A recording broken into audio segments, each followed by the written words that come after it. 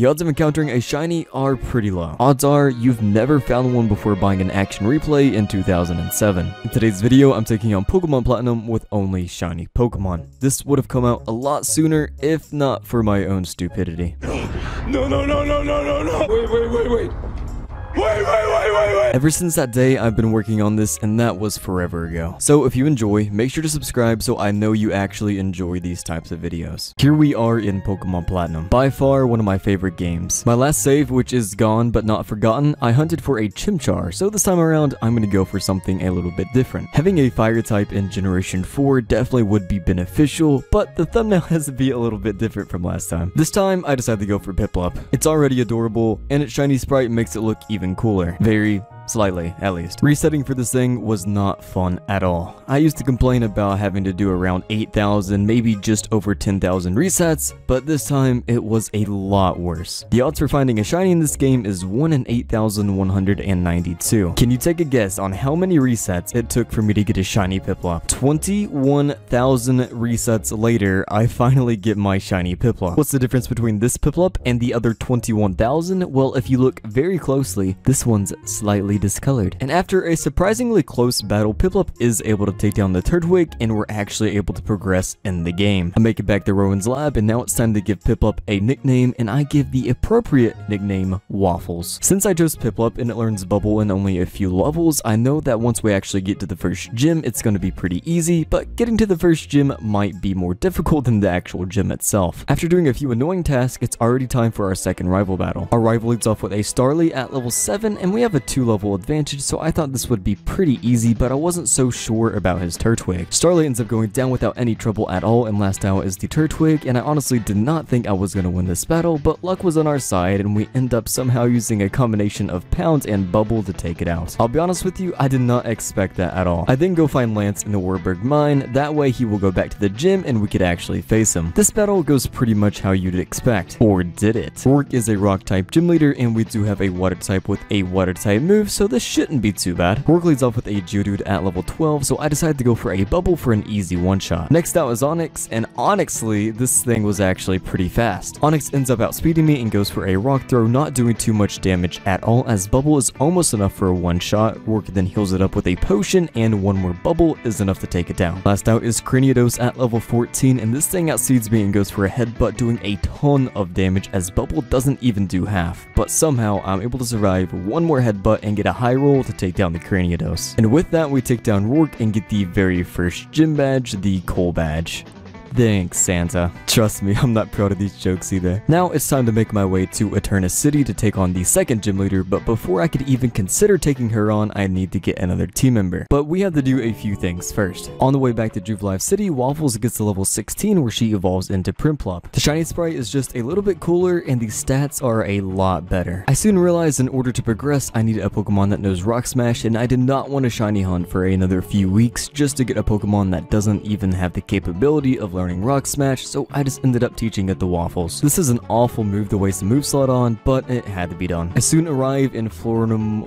Flo Flormanomanoma town. I defeat a couple galactic grunts, and now it's time to head to Valley Windworks, where I unlock the door with a key, and now it's time to face Mars. Mars leads off with a Zubat at level 15, and I end up going for a Bubble Beam here for an easy one-hit KO, and next out was Purugly, and this thing is stupid strong, but luckily I get a crit, and the battle is over relatively quickly. Next I have to help Cheryl through the Eterna Forest, and I was gonna shiny hunt here, but last time I tried to do this with Cheryl, things didn't work out so good. Do you guess you'll fall? Oh my my gosh, dude. Already? No way. Like this. I should have kept Mukreed alive because Drifloon has something super effective against... Please don't do this. Please don't do this. Please don't do this. Drifloon, please don't do this. Please don't do this, Drifloon. Oh no. No, no, no, no, no, no, no, no. No! No!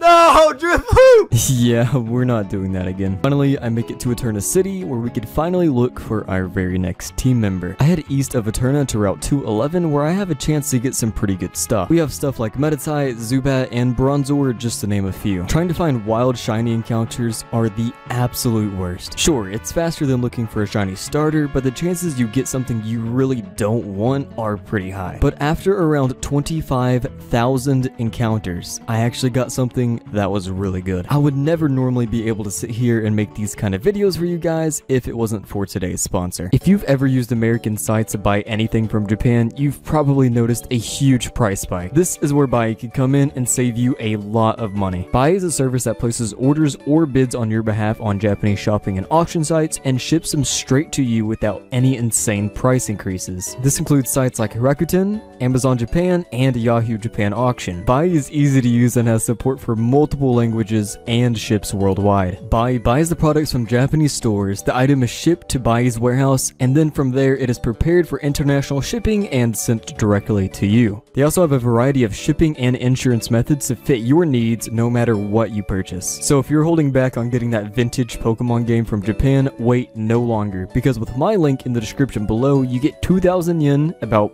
$15 off your first time purchase from Buyee. Again, go click on the link below to get the coolest things you've always wanted from Japan using my link, get 2000 yen off, and thank you Buyee for sponsoring this video. The shiny I ended up getting was a Bronzor. Now, Bronzor is actually a really good encounter here. It actually won't help with the second gym, but overall, it should be helpful throughout the entire run. And now that I think about it, Bronzor actually will be helpful in the second gym because the alternative is a water type. And after all this time, I was finally able to add Bronzor to my team. I did end up doing some damage to Bronzor, but I made sure that a critical hit would not KO it because if it did, you wouldn't be seeing this video right now. And I end up giving Bronzor the nickname Zong. Now we could finally take on Gardenia, after grinding a few levels of course. Gardenia leads off with a Turtwig at level 20 and at this point Zong is at level 22. Now this battle took a lot of attempts basically just because I did not want to overlevel because that absolutely ruins the fun of the game. Bronzor has Hypnosis and Confuse Ray, which definitely does increase the odds of us actually being able to win this battle. On this attempt, I was able to use Hypnosis and Extrasensory to take down the Turtwig, only taking a little bit of damage. Next up is Cherrim at level 20, so I go ahead and switch out into Waffles here as I get hit with a Grass Knot, doing a decent amount of damage, but actually surprisingly enough, Waffles is able to take down the Cherrim, leaving her to her last Pokemon, Roserade. I end up going for Peck with Waffles just to get some damage down on the Roserade before it ends up going down, and I send out Zong once again. Zong ends up getting hit with a Grass Knot here, not doing too much damage as I'm able to connect with a Confuse Ray and then a Hypnosis, greatly increasing the chances of us actually winning. I then end up spamming Extra Sensory, and luckily Roserade ends up going down, even though it ends up getting healed up with a Super Potion. I think it's absolutely crazy. I had to look for a new team member for literal weeks, and then I had to spend another hour trying to get past the next gym leader. Finally, Gardenia is taken care of, and we're able to continue once again. The only bad thing is we need a Pokemon that can learn Cut, and the only Pokemon I have that can learn Cut is, of course, my starter. Unfortunately, that means I have to waste another move slot on a really bad move, but it is what it is, I guess. But now that Waffles has Cut, I'm able to make it into the Galactic Building and make my way to the top. Once I'm there, I have to fight Jupiter, who leads off with a Zubat at level 21. After taking only a little bit of damage from Bite, I'm easily able to KO the Zubat, and now I have to deal with the Skuntank at level 23. Skuntank ends up going for a Screecher, harshly lowering my defense, but I do manage to get a Confuse Off and eventually hit a Hypnosis, which puts it to sleep. It only took about 17 Hypnosises to actually hit, so I'd say we're doing pretty good. Once Skuntank is asleep, I end up switching out into Waffles to hit this thing with a Bubble Beam, which actually does a lot of damage. Skuntank ends up eating its berry, but it doesn't matter as I'm able to go for a couple more Bubble Beams to eventually finish it off. If you guys are enjoying the video so far, make sure to join the Discord. The link is in the description below. I will be in the voice chat channel almost every single day for about a week after this video releases. I then go try to get the bike from the bike guy, but then Cynthia interrupts me and gives me an egg, which may or may not contain a shiny Pokemon. I then grab the bike from the bike guy and I'm off. I head south, try to go into a cave, Dawn gives us the Versus Seeker, and shortly after arrive in Hearthome City. Hearthome City is home of the third gym, which uses ghost type Pokemon, so I'm pretty sure Zong should be enough for this gym. I talked to Fantina in the contest hall to make her go back to her gym, and I just now realized there's actually a lot of gym leaders in this game that aren't in their gym initially, and you have to make them go back to their gym, which is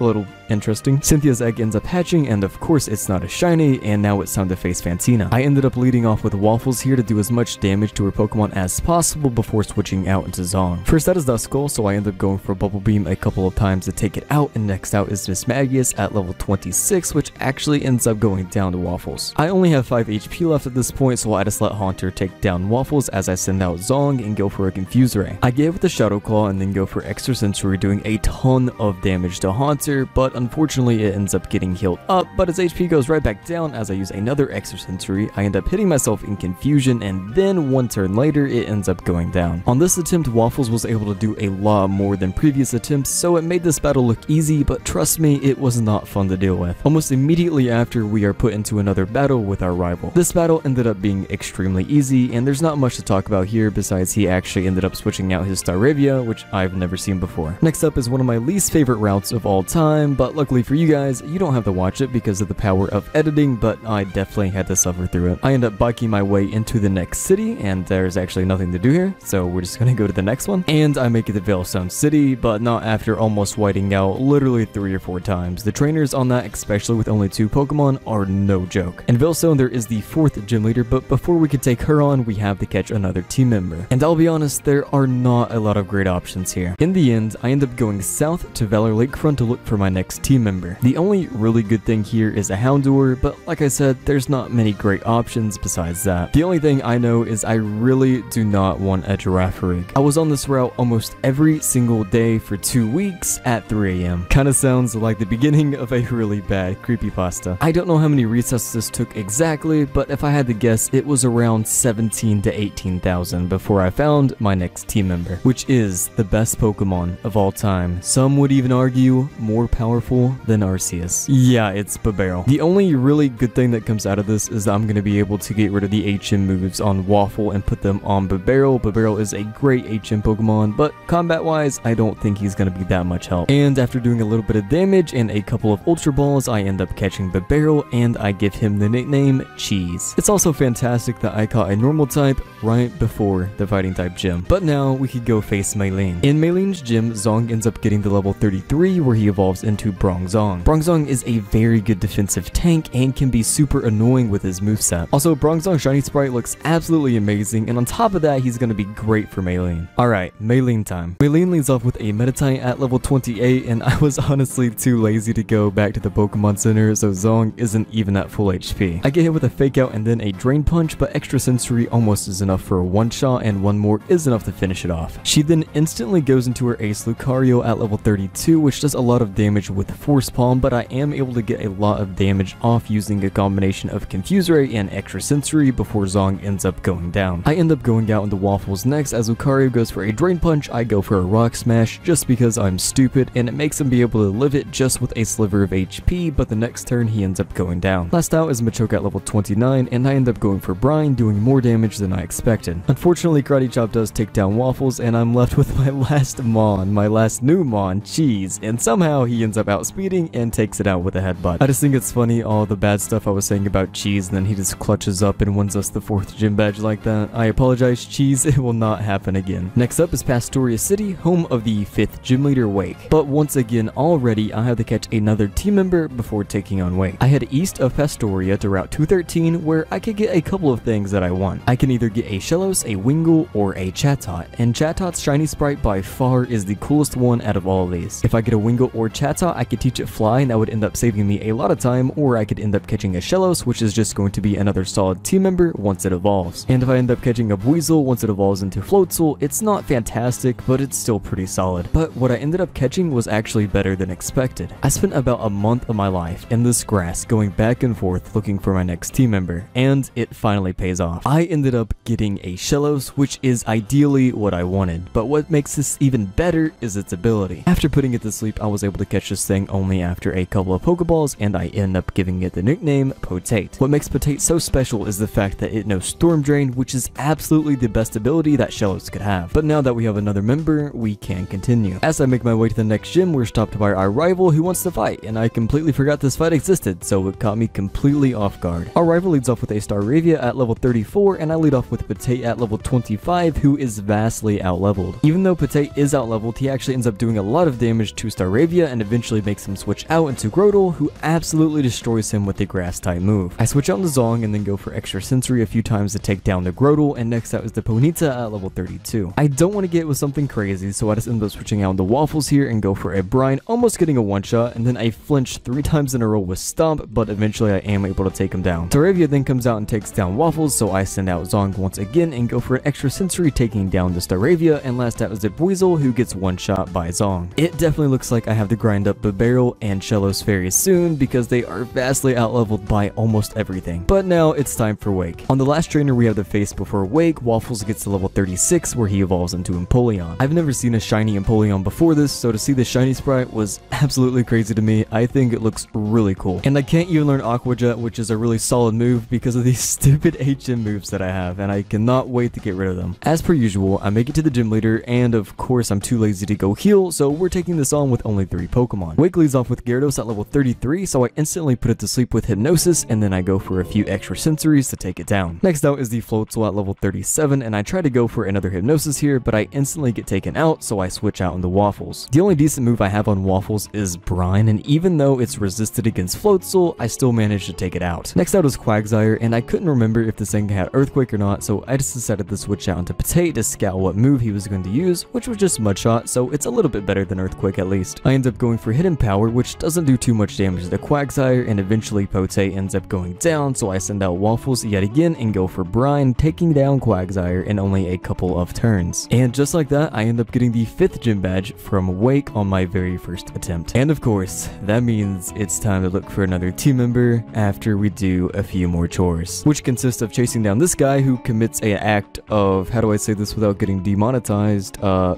tomfoolery. We chase him down and he ends up just walking away anyway, so the point of me actually chasing this guy down and beating him in a battle is a mystery to me. Then everybody's favorite champion appears and gives me some Advil to give us some Psyducks. I give the medicine to the Psyducks and they scurry off all cute like and Cynthia appears once again asking me to give an old charm to her grandma, which is in Celestic Town. Anything for you, Cynthia anything for you. Our shiny hunting adventures are going to have to take a pause because this is the end of the first video. Part 2 will come out very soon, so make sure you subscribe so you don't miss it. Thanks for watching guys, see you soon.